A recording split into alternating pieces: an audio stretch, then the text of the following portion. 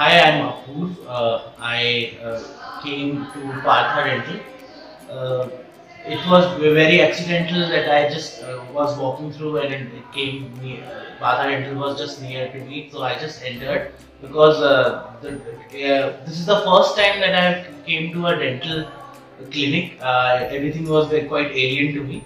But when I entered for a normal checkup, routine checkup, uh, so uh, I met, Dr. Sophia in Partha Dental, and uh, then uh, she examined me, and she has uh, she actually showed me what's all in there and what's what was happening uh, around my teeth. Uh, I think I came at the right time because otherwise my first two teeth would have just gone fallen down and.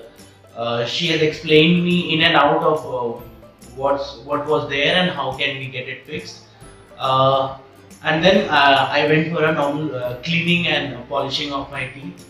Uh, the whole experience was overall very soothing, calming, and being a first timer to a to a dental hospital or a dental clinic, it was a very easy going experience for me and a very quick one also. Uh, I would recommend you guys to come here and uh, like experience things. It's is that all?